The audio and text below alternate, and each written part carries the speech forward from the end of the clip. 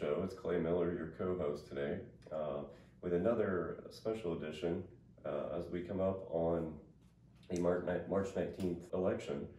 Uh, we were able to, fortunate enough to get Marsha Webb join us today. Marsha, how are you? I'm well. Thank you for having me, Clay. Yeah, thanks for coming on. So, Marsha is a Republican candidate for the uh, Illinois State Representative for District 107. So, um, what are, what is the borders of, of the district approximately? Well, the borders have really changed since the redistricting, Mhm. of what I call the gerrymandering of the map. Um, so there's the north-south, um, Cadwell Road in Moultrie County. That would be the eastern part of Moultrie.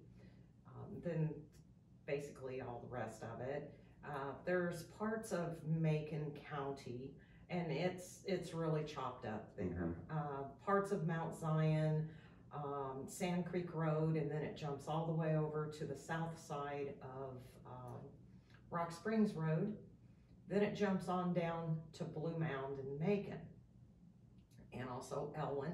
And as you know, it's basically all of Shelby County. Uh, there's parts of Taylorville, um, in Christian County, in Tower Hill, Pana, and then It touches Calvin and get, does it get all the way, it gets all the way down to uh, Altamont yes, and then over to to Effingham and T-Town? T-Town, yes. Okay. Um, And then up, then back up through Stu Strauss, Windsor, um, Mhm. and, up and on up to, Neoga Findlay, and yeah. Cumberland, Mhm. okay. Cumberland County, uh, the Neoga area. And then in Montgomery County, there is Nokomis and Witt. Oh, okay.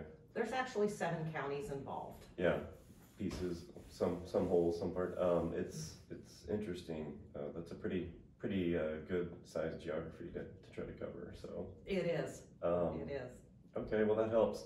Um, can you share a little bit about just your background and, uh, you know, where you live and what you've done and how you, uh, how you arrived at the point to decide to enter into this? Absolutely. Well, first and foremost, I want to say that I am a wife, a mother, and a grandmother of three beautiful granddaughters. Um, And that's the main reason. That is our future, and I'm running to fight for our future. I am a former first responder, firefighter, paramedic. As a matter of fact, I was stationed in Shelbyville uh, for Decatur Ambulance Service. Oh, really? Yes, and I really enjoyed being down here. And I also filled in um, shifts in Pana, so I'm familiar with the area. And I've worked with the dive team Mhm. on a couple calls uh, down here, so I just want to say I fully support the dive team. Right. Uh, I Where, where's home for you? I live in Macon. I Okay, I grew up, born and raised in Sullivan. Um, I've had family members in Shelby County. My cousin's husband was the police chief in Findlay, uh, Don Highland. Okay. A lot of people do remember Don. And my uncle and aunt had the farm in Strasburg. Their son and daughter-in-law and two sons right here in Shelbyville. She was the director of nursing at Shelby Memorial. Mm-hmm. So I'm, I've got roots. I say a lot of roots in, uh, in, not just in, in uh, Shelby County, but all around, uh, your district, I guess. Yes, yes. Good. I also served as the volunteer chaplain for the Macon County Sheriff's Department Patrol Division. Thoroughly enjoyed that, being out with the deputies and, and as a first responder on the fire and, and EMS side, you worked hand in hand with them. And you've got a really good idea at that point what our first responders, our law enforcement officers face. Mhm. But you get in that squad car and you do eight hour shifts with them, you get a deep understanding of it. And given that diverse background, Yeah. that is what earned the um, trust. I've earned the trust and the endorsement of the Illinois Fraternal Order of Police State Lodge. Oh, very So nice. I bet you were thrilled to get that. I was thrilled, but yet very humbled. And a lot of people running for office, they get endorsements and it's a feather in their cap. Right. Well, I take this very seriously. I mean, there's almost thirty-six thousand law enforcement officers, active and retired, that belong to that uh, fraternal order of police. That's a great responsibility. Yeah, no doubt. You know, so it's a little bit unique, I, th- I would think, that you um, were a part of a fire department and a first responder. Um, what, how did you arrive at that? I mean, was it something you always wanted to do, or how did you uh, tell us about how you got into that? Well, I'm going to uh, date myself here. um, there was a show called Emergency in the 70s. And of course, Johnny Gage and Roy DeSoto, they were the heartthrobs of the grade school and high school girls. And that, that show was responsible for the paramedic program and EMS programs across the United States. Mm-hmm. And I had a cousin that was a fire chief. And I'm like, I want to be Johnny Gage. I want to do that. I want to be a firefighter. I want to be a paramedic. And, you know, life tends to get in the way, and you have kids. And then when our youngest uh, was junior high, high school, I'm like, I'm already an EMT basic. Uh-huh. I'm going to be Johnny Gage. I'm going on for my paramedic. Yeah. So I achieved that that lifelong goal. Well, and you had to, I would think, uh, you had to be an extreme minority at that time to be doing that. I mean, it was pretty much a male dominated um, When I first profession, I would think. Yeah, I mean, nothing like today where yeah, it's not uncommon at all. But back, um, in the Yeah. 80s, absolutely, the yeah. early 80s. You were some of the first uh, females probably to really start doing that, especially out in, in these smaller rural areas. Absolutely, I was. Um, and I guess that's where I get my tenacity, if you Mhm. want to call it that, and my fight. Um, being the only female in a predominantly male field, as you said. I mean, you have to be able to get out there and duke it out with the best of them and keep up with them. Get get thick skin and improve yourself. But I apparently you earned their respect to to wind up one having the career you had, and then now to have uh, the the endorsement of the fraternal order of police. That's a great that's a great um, I guess testament to to where you are and what you've accomplished. Very humbling. Great. Um, so have you ever held elected office before? Yes, I currently do. I am a South Macon Township trustee, and I was appointed by the Macon County Board Chairman to the Macon County Board of Health. Okay. And how long have you how long have you held those roles? Well, this is my second term uh, with the Board of Trustees, and I am currently in, I filled a vacated seat, and so this is like term and a half Mm-hmm. on Okay. the Board of Health. So going from that to, you know, stepping in to, to pursue the, um, again, as a Republican, the uh, state representative, uh, one of seven. What, what, uh, what made you jump into that race and decide, you know, this is for me at, at this time? I cannot sit back and complain and be a keyboard warrior. I, I can't do it. Um, there's so much broke in our state that needs fixed. And I feel that I can help. I, I'm not the answer for the state, but Mhm. um, my willingness to sit down and talk to people, regardless of their party affiliation. A state representative represents everybody Mhm. not just the Republicans. You represent Republican, Democrat, Independent, and you cannot be disrespectful. You cannot be dismissive. How do you know what the issues in your district are if you don't sit down and have the conversations with them? And, you know, my opponent touts his, that he's got the most conservative score in the General Assembly. Well, you can achieve that if all you do is sit down and vote no. Mhm. You have to be able to work within your own party and you have to be able to reach across the aisle to the other side. You may not you may not get a win, but maybe you can lessen the impact.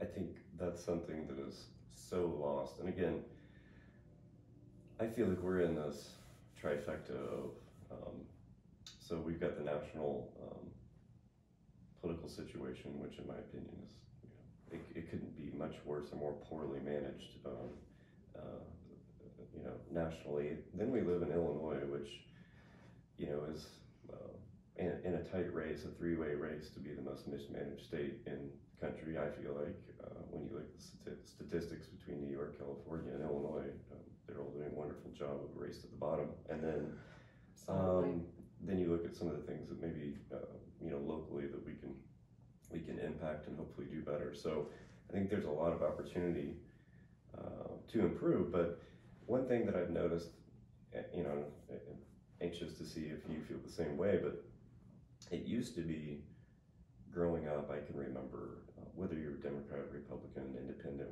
there was a group of ideas and um, common themes that everyone agreed on, regardless of, mm-hmm. you know, that you always support the military. You, you know, things that were American ideals, not necessarily even hardly debatable. Um, freedom, you know, choice, you know, your ability to make your own choices, um, things like that. Where it seems like that's even become cloudy now, and a lot of a lot of work was done and good things were done through compromise. Um, I remember uh, I was pretty little then, but I remember um, when Ronald Reagan was president and Tip O'Neill was the Speaker of the House. Mm-hmm. You couldn't have a more conservative Republican and a more liberal Democrat, but they were great friends, even though they disagreed on 75% of things. But they compromised and came together and got so much done.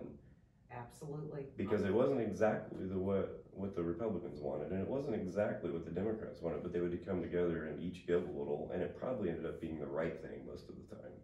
You're absolutely right. Patriotism mm-hmm. was still alive. And when I say patriotism, I'm not talking about the extreme right or the extreme left. Our politics on a national and state level have become so divisive that we, the people, the very people that put them in office, are suffering. Nothing is getting done. And that's where we have to we, have got to get back and and when when I say JFK, that was before me. I mean, mm-hmm. he, unfortunately, he was assassinated a month before I was born, but the JFK all the way through the Reagan years, I'm I'm a Reaganite. I I loved his policies, and I I remember you know the great shape that our nation was in. We have to stop being petulant children throwing fits and it's going to be my way or the highway because you're not getting anything done for your constituents. And that's what it's about. It's not about the representative or the senator or, or whatever office. Right. It's about doing the right thing for your constituents. And see, there's, when I say sit down, reach across the aisle, you can maintain your integrity. Exactly. You can maintain what you stand for when I say that, you know, it's not being a sellout. Right. It's not compromising on your core beliefs. Um, Correct. And again, somewhere along the line, it became. I mean, you know, even even in in my early years, you know, there were a lot of friends and family and and things like that that were, you know, whether whether they were Democrats, Republicans, Independents, whatever even though they they didn't agree on everything, but they still respected each other. And it wasn't like I can't be friends with you. I don't like you because you voted for one person or another, or it makes you a bad person. So, Marsha, we were talking a little bit about um, you know the size of the the geographic size of District 107. Um, how have you managed to get around all the communities, and what have you learned from uh, all the all the unique you know little towns uh, that make up our our district? Well, first of all, I've been I've been welcomed. Uh, I've met a lot of great people, and I'm thankful for that. And I've actually made friendships along the way. Mm-hmm. Uh, you know, even after the election, those friendships are going to be there. But there's a resounding theme that I'm picking up. People need relief and they want honesty and integrity and they want their voices heard and they want their voices taken over to Springfield. They feel unrepresented. They feel unheard. They feel like their voice and it just doesn't matter. So we've we've got to fix that. How how do you? So you know you've got a lot of different city councils, uh, county boards, um, and then various other you know civic elected boards and, and appointed people and all that in this district. What's your role um, if you were to be an, uh, elected as a state representative? Do you feel with these community, um, you know, city councils, county boards, so on and so forth? Number one rule as a state representative or senator or, you know, at the state level, you do not interfere in the local issues. If they reach out to you and they ask, What should I do? or Hey, we need a grant, we need this, whatever it is, you offer them resources, you offer them contacts, but you should not be in the middle of the local politics. Mm-hmm. Well, you can see, I mean, I'm sure every um, town and county has their own set of issues to deal with. And I'm, I'm wondering, do you think there, and maybe there are, maybe there aren't, I don't know, are there opportunities for just this District 107 to get more, whether it be funding or support or grants, something like that from the state level, um, funneled into some of these communities in, in, any capacities? I mean, does anything come to your mind um, of where we could potentially uh, do a better job with that?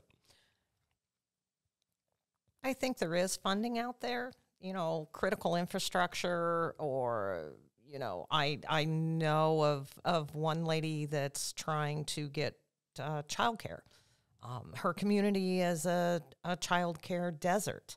Mm-hmm. So I, you know, she reached out to me, and I called the senator.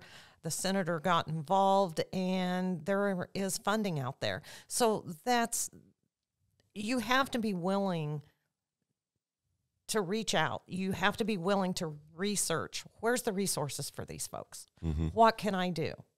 And again, you talk within your own party, you reach across the aisle. It's it, hard work to do it right, I would imagine, to be real honest. And it, it is. Yeah.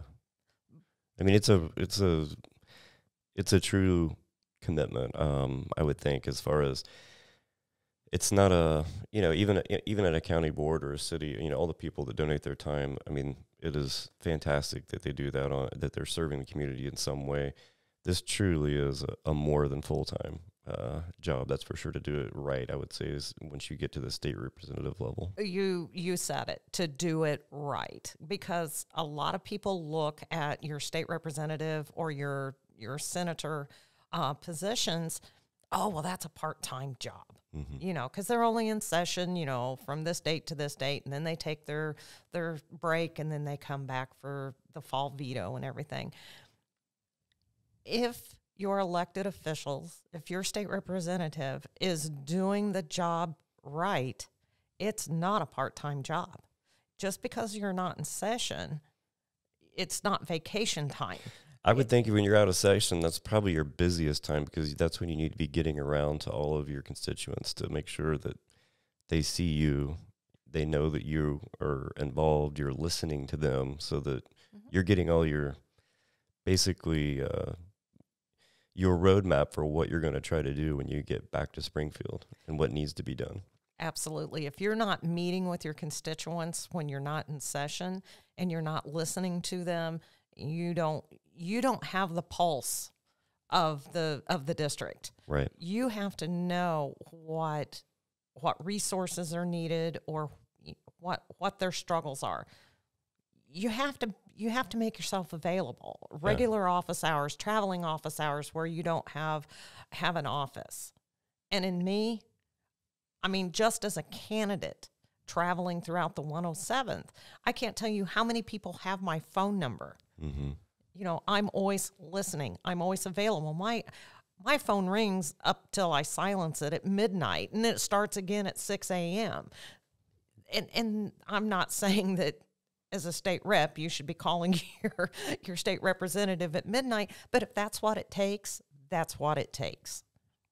Yeah, I I, I can't imagine. It's uh, not only a big geography, but it's a lot of um, a lot of constituents that you would be representing. So, Mm-hmm. um, one last question in this segment.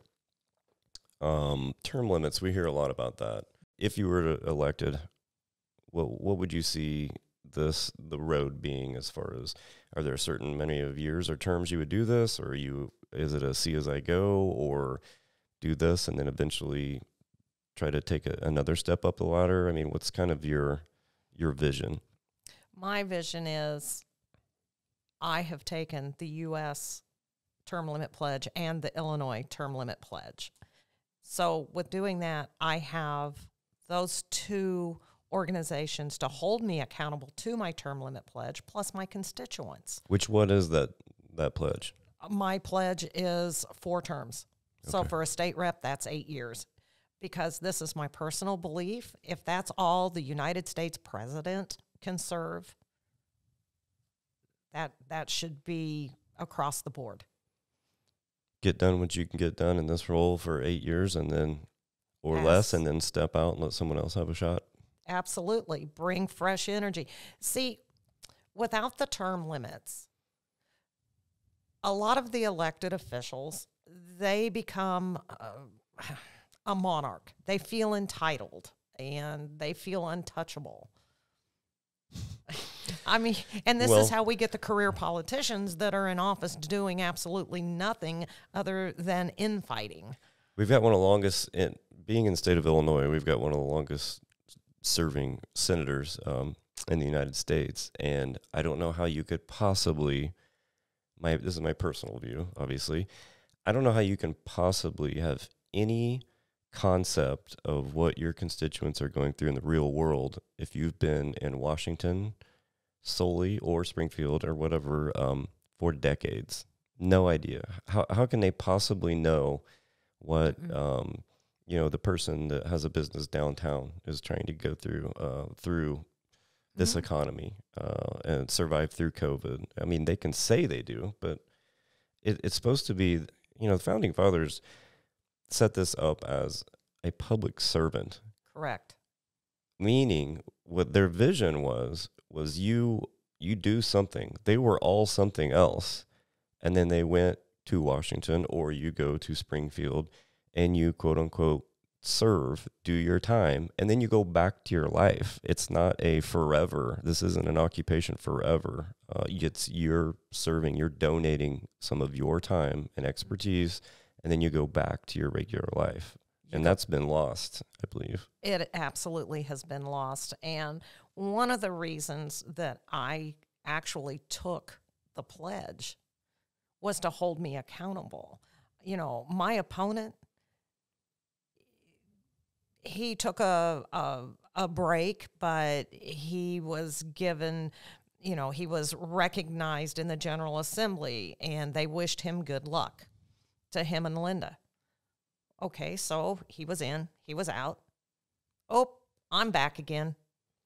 And then he made the, the term limit pledge um, of, of a total of five terms. So And how many terms? This Is is his fifth. Oh, And, you know, he told everybody, I can't run again. This is it. This is my term limit pledge. Five terms, I'm out. Um, one of the Lincoln Day dinners, and I was in attendance. Um, you know, he was given a congressional proclamation, he was given a House proclamation, and the Central Committee was giving him gifts and thanking him. Well, that was, I believe, in February. Don't quote me, but I think it was in February.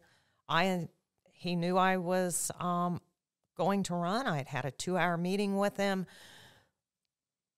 He told me how to launch my campaign step by step, starting you know starting. You've got to get your FEIN. You've got to get your committee, mm-hmm. and the list went on. And I called him and said, April 25th, I'm announcing. Didn't uh, hear anything from him after that phone conversation. I announced on April 25th, on June 2nd, I got the text message.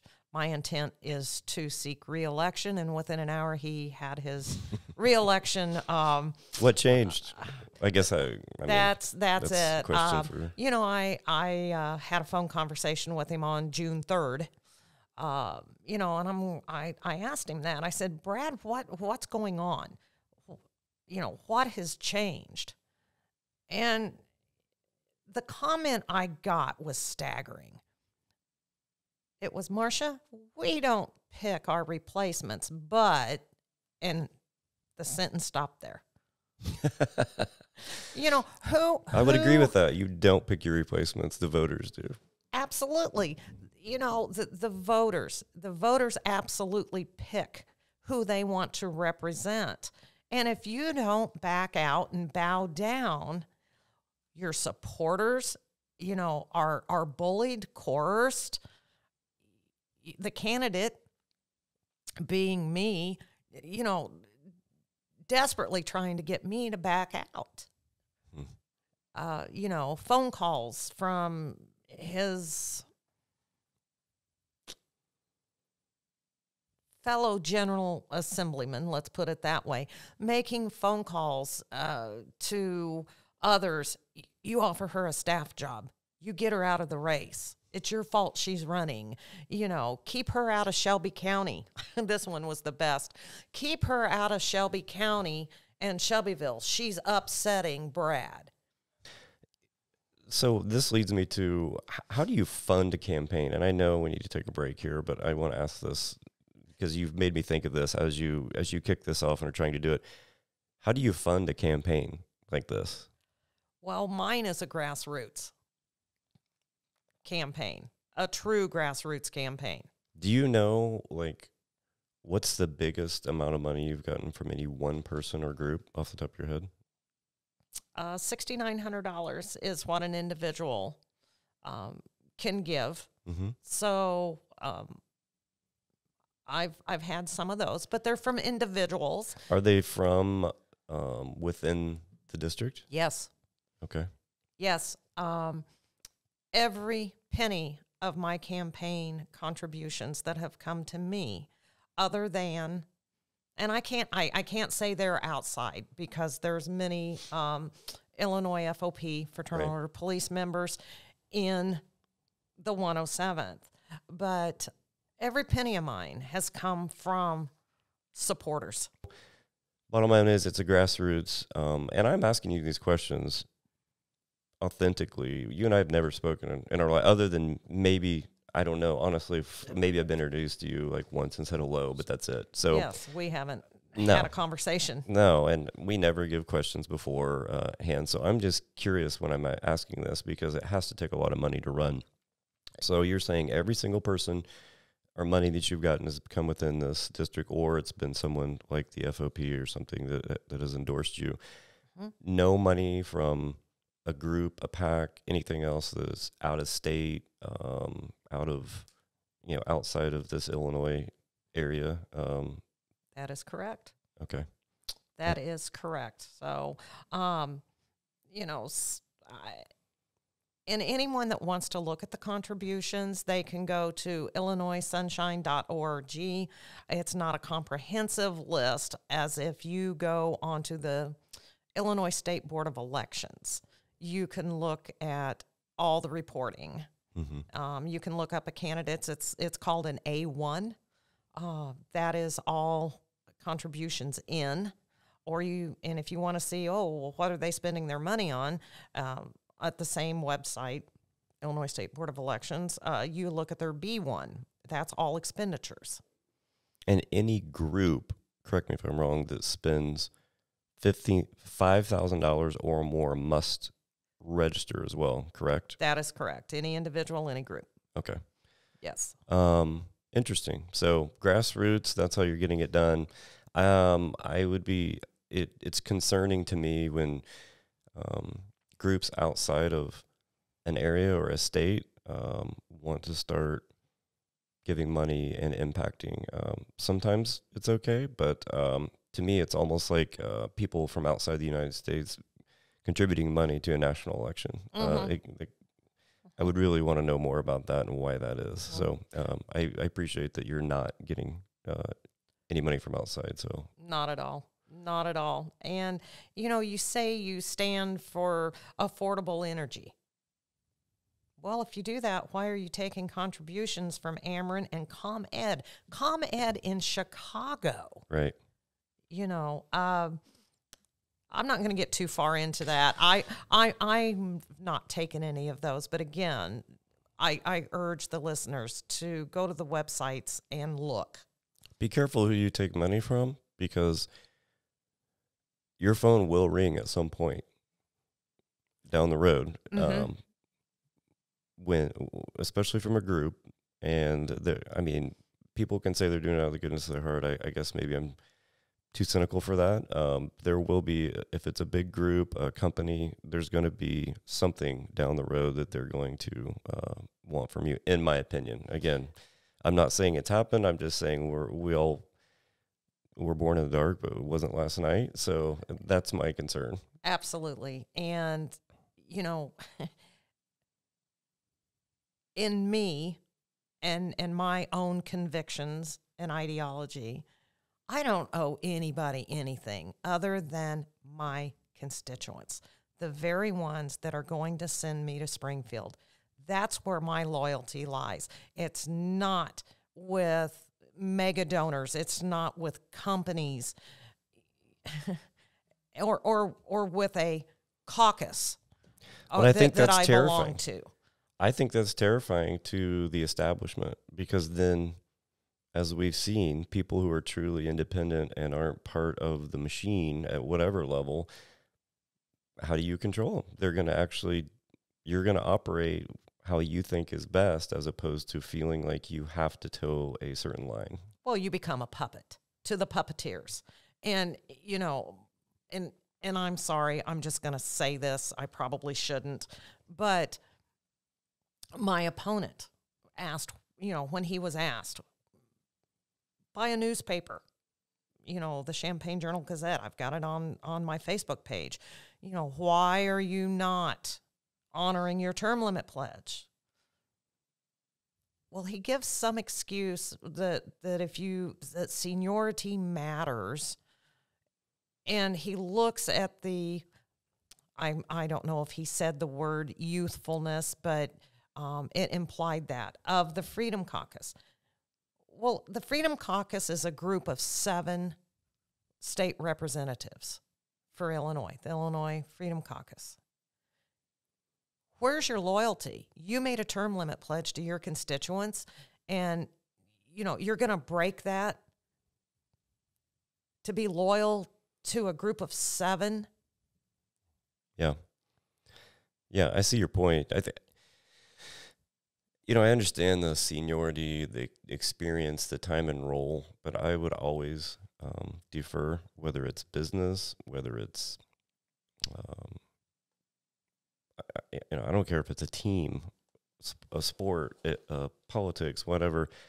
Quality over quantity, always. Absolutely. You're absolutely right. And seniority brings stagnation. It it really does.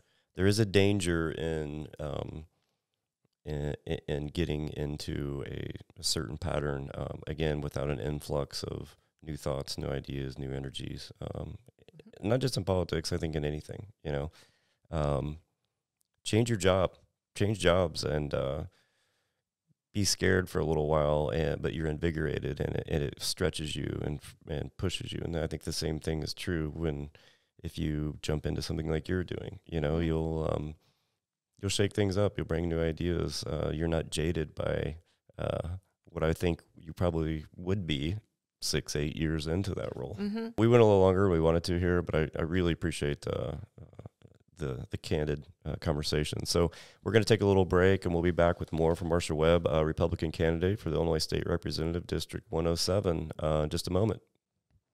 Hi, this is Carol Cole from Jake's Antiques.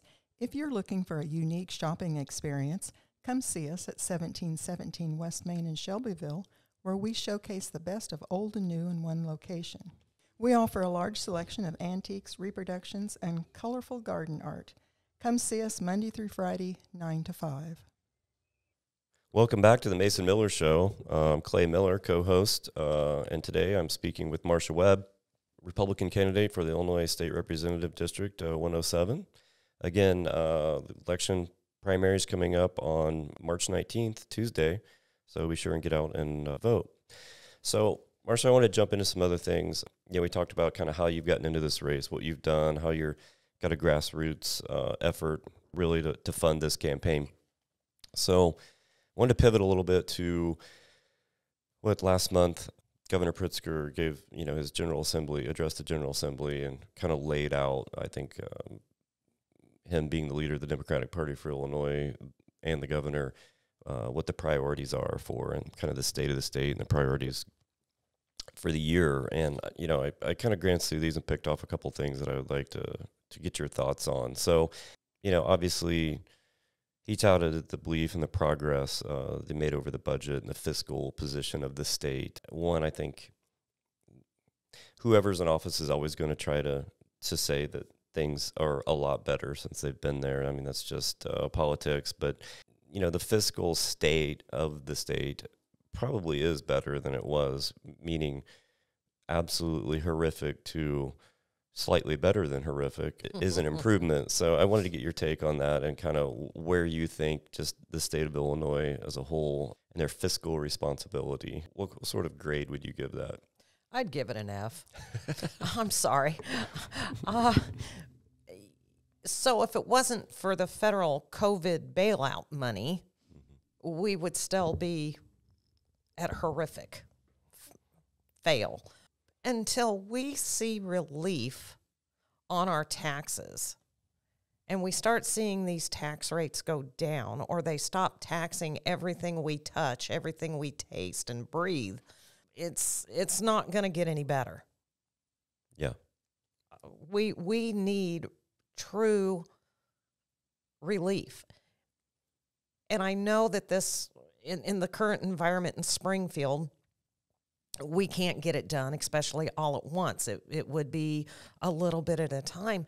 And as I told you, I'm a Reaganite. Do you remember Reagan's approach that, that brought us from the brink of a depression? Do you remember how he did that? It's still, I mean, it's common sense to me. Um, I, I honestly, I, it's very difficult for me to even understand how you can think other than this. And I know that's a dangerous way to be when we're talking about compromise and seeing. I I love for people to try to explain why that what you're talking about doesn't work because it's if you tax people less, tax companies less, reduce regulation and allow innovation and allow people to expand their businesses, their companies, start a company, an idea, whatever, things will flourish. You will generate more tax revenue and collect more taxes if you lower taxes. And it's been shown over Mhm. and over again every time we've done it, the economy takes off. Absolutely, and uh, and I've said this a lot of times uh, when I've been out speaking. President Reagan, they they took the projected tax income and reduced it by seventeen percent. Everybody came to the table. They had to prove the portion of what was there. There was no pork. There was no pet projects Mm-hmm. and then they gave that 17% tax reduction to the pa- taxpayers, to the American people. Mm-hmm. Why can't that work in Illinois? I mean, I, I don't think there's any question. Um, I, I mean, I would challenge any of them to say, try that for two years and tell me if we're not in a better position than we are right now. I'll, I'll never talk about it again, but I promise you we would be. Yes. So in 19, so in 2021, and I just looked these up, according to the U.S. Census, the IRS, literally moving companies like U-Haul Yes. said um, in 2021, 146,000 people left the state of Illinois. 208 companies left in 2021. Illinois. Mhm. 208. And that doesn't include like big companies that just relocated their, moved their headquarters out or Mhm. um, you know, say a, a Walmart closed three stores or something. That doesn't. That's not talking about them. These are companies that actually said, "Yeah, we're done in the state of Illinois. We're leaving," and they went somewhere else. And I know that they've said, you know, the Dem- Democrats have said, and Governor Pritzker has said, "Oh, there, it's people retiring, or it's it's a misnomer." That's absolutely one hundred percent false. If you look at the data, they're not all fleeing and retirees going to Florida. There are some of that.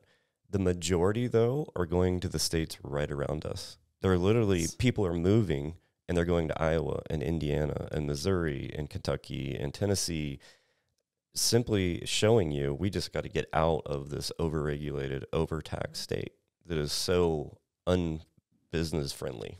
So the numbers you just gave, to put that in contrast to everybody, every year we're losing that amount of people. That is the population of a town the size of Springfield. So every year we're losing Springfield Mm-hmm. to, you know, to, to put that in perspective. Or the population of your district that you're wanting to At- at- represent, basically. Yes, absolutely. So if this continues, it's going to be last one out, turn the lights out. and the people who move i would bet this is i don't have the facts to back this, uh, back this up but one 208 companies and 146000 people the 146000 people who moved actually have the resources to be able to move Mm-hmm. so i would bet that's middle class and beyond which they pay the most in taxes which is probably why they're saying i'm done i'm out of here. So again that's that's like a double whammy because they're probably taking jobs with them and they're not Mhm. buying cars and homes and um, you know they're not raising their kids here and sending them to state colleges here. You know all that all those unintended consequences and ramifications domino effects um, have to be worsening the impact i would think It, it is, and those that that can't get out, um, that that can't move out of Illinois, that lost revenue, those last those lost taxes, they have to come from somewhere. So Exactly. guess who? Guess whose shoulders, whose pocketbook that that that deficit is now falling on. right so there's 208 less companies every year for these folks to go get jobs and work in i mean Mm-hmm. you know it, it's to me it's the biggest issue i think in these states and again um, we illinois was third uh, behind, behind new york and california in the exodus Mm-hmm. um, actually and if you do it by per million people illinois was actually second um, as far as hemorrhaging people um, Yes. so again w- what's the common theme there all three of those states when i always say it's a race to the bottom it's completely complete fiscal mismanagement in my opinion Well, that's my opinion also. Um, and again, that's an opinion. Um, we just have to get common sense back to the table. right And I'm a firm believer any any legislation that that is drawn up and voted on, your legislators cannot be the expert on every subject. You have to bring the experts to the table, just like the Egregious Safety Act that, that has been coined the Unsafety Act. What it has done to our law enforcement, mm-hmm. uh, our judicial system, our circuit clerks' offices. There is no way that the very people that, that it was affecting, that those experts were brought to the table. And that's something that has to be done. And I'm a realist, super minority. I I get sent to Springfield, I'm in the super minority. But I'm willing to reach across the aisle. I'm w- without compromising, Right. okay? And chip away at it. One one chip at a time. But before I go to that table, I'm going to be calling for a meeting the sheriff's offices you know hey sheriff can you come to this meeting? Our state's attorneys can you come to this meeting? Our circuit clerks. Do you okay. So the circuit clerk's office is the hub of the judicial system. It's what keeps that courthouse going round and round. Mm-hmm. Do you know since the no cash bail in the Safety Act, circuit clerks in Illinois are losing millions of dollars because they don't have that 10% of the bail. So, Where's that going to be made up? absolutely. So, there's more jobs left or lost. It compromises how, you know, the, the circuit clerk in the courthouse goes round and round. Well, that that particular act is a great example of unintended consequences and not fully understanding what the impact is. And and there's all kinds of different impacts and you've you laid one out. Another one is forcing your local law enforcement that you've we've grown up with that we've we hired we you know as taxpayers and putting them in almost an impossible situation to make criminals out of people that are, are normal law abiding citizens. And then hmm. also, on the flip side, people who have broken the law that have no, I mean, they're back out before faster than, than, than the police can even get them in and processed. I mean, and they turn right back around and, and these folks are free. a lot of them are out the door. You know, they're given their NTA, their notice to appear. They're out before the officer could complete his report for Yeah. the arrest. And there's there's a, a dire consequence in that that part of the Safety Act. And um, through meeting with our law enforcement and, and meetings with, you know, the Fraternal Order of Police,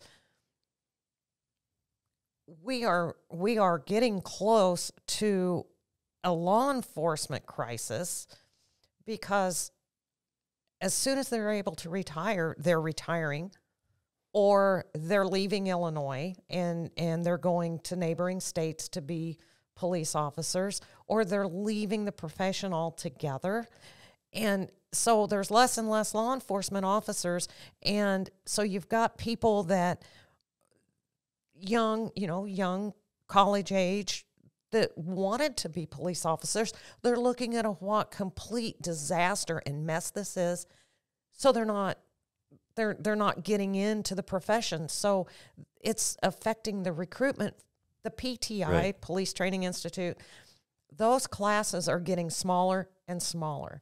And I can remember even 20 years ago, if you wanted to be a law enforcement officer, especially in Illinois State Police, well, good luck.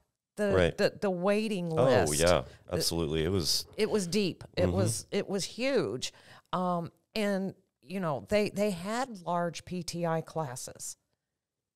So that's another unintended consequence. I, I would bet that a large percentage, a significant percentage of first responders um, are are second or third generation too. Uh, a- and I'll Absolutely. bet so many of those are saying don't go into the telling their kids don't don't do this because of the experience they're in. Whereas you mentioned some of those men and women might be far enough into their career where they got to stick it out because they got to get to their pension. But the ones that have a lot of promise, maybe they're in their 20s and early 30s, they're still thinking, I've got such a long road to go. I'm out. I'm going to go just change professions entirely because it has to get so, uh, it has to be just so discouraging and daunting to try to do your job and and then there's no I mean it's the same repeat offenders over and over or there's no crime there's no penalty for breaking laws. So eh, I mean I think it would have to wear on you mentally.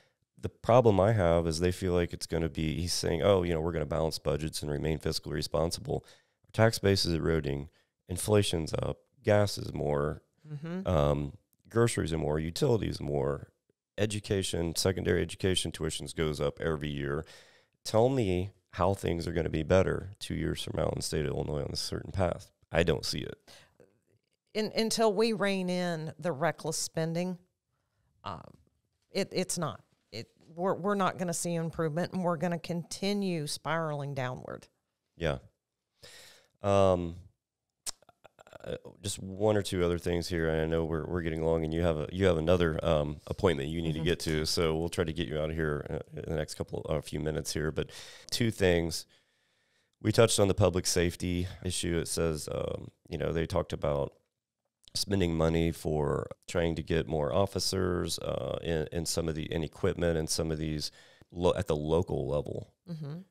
As you know, our sheriff's department here again, and you're bigger than just Shelby County, obviously, but that, that's where I reside. So the, Sh- the Shelby County Sheriff's Department, from what I understand, and I've not looked at these figures myself, is that they are on the lower end, the deputies of of pay, and their pay was decreased because it had been bumped up with some COVID money, and that COVID money is no longer being paid to them. Again, is my understanding. Is it possible with this money that's being put out there that they're saying to be able to recruit and retain officers on a local level? Like, is that something that if you were elected, you could potentially go out there and try to get to help subsidize some of these local county police departments?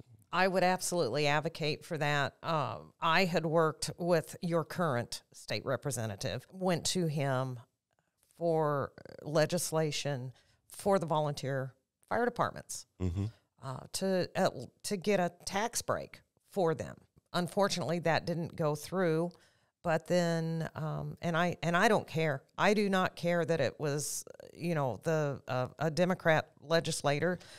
He picked it up and changed a few things in it, lowered the tax deduction uh, amount, and it passed. So, absolutely, I would advocate, you know, for some kind of funding or grants or, you know, that that wouldn't have a negative impact on our tax dollars.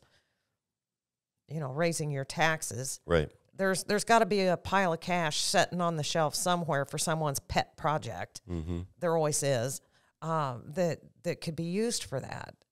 We we have to have law and order. We are a state. We are a country of law and order. Without our law enforcement officers, you know, Right. it it leaves uh, the citizens at great risk. Well, I there's about five other things that come to mind that I would love to talk to you about, but I know you've got to get on. Um, you you've got to um, go meet with some other constituents, so I don't want to hold you up there, and I want to make sure that uh, everybody gets time with you. So, any anything that you want to talk about, just real quickly or address before we uh, sign off here? Yes, it, it's election season. So many of them say, I'm against this, I stand against this, I fight for this. Where's their plan? You know, I am unapologetically pro life, but I also understand how divisive that is. It divides families, friendships, uh, politically. Look, look how divided we are politically over pro choice, pro life. I have a plan you know, without raising our taxes. You know, Illinois has become the abortion capital of the Midwest, and it's our tax dollars. I want to take 50% of those tax dollars already set aside and move it over to make adoption free in Illinois. That will not raise your taxes. That's, you know, tax money already sitting there. Thousands So- of parents looking for uh, wanting to adopt kids every year. and they they can afford to raise a child but they cannot afford the thousands of dollars at one time Right. to you know Go through to the process. adopt. Right. exactly and nobody should have to purchase their children so this accomplishes several things it gives the expectant mother a choice um, it's going to save lives and it's helping those young couples that cannot afford to adopt I think it's a great idea. It's a wonderful idea. And I think you have a unique perspective on this being one, someone who's been on the outside. Now you're trying to step into political office. Two, being a mother and a grandmother.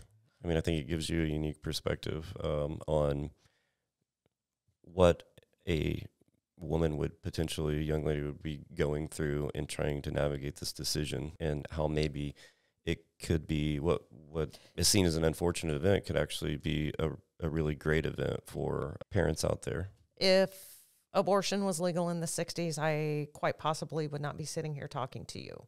I uh, was given up for adoption, and my parents adopted me at less than a week old. Wow. So, you know, this is something very near and dear and personal to me.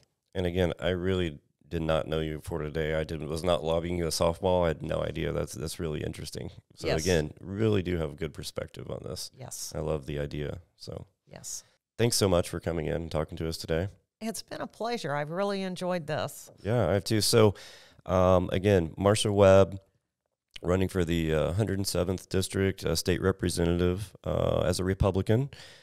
If you want to know more, definitely reach out to her. Again, election day is March Tuesday, March 19th. Again, as I said before, whether you're watch this show because you know Mason or you're his generation, you're his age, get out and vote. If you're our Mhm. generation, get out and vote. If you're if you're retired and all that, please get out and vote. Uh, regardless of what you think, uh, you can really make a difference. You know, people always say my vote doesn't matter. Yes, it does. definitely matters in a local and uh, district election like this. That is one of your most powerful tools that you have is taking your voice to the voting booth. and if you want to complain in the next two years, even if you it doesn't go your way, at least you can say I tried, I voted, so I That's have the right. right. to be able to voice my opinion. So. Absolutely. Well, that's it. Thanks, Marsha. Um, good luck to you, and we'll see you guys next time on the Mason Miller Show.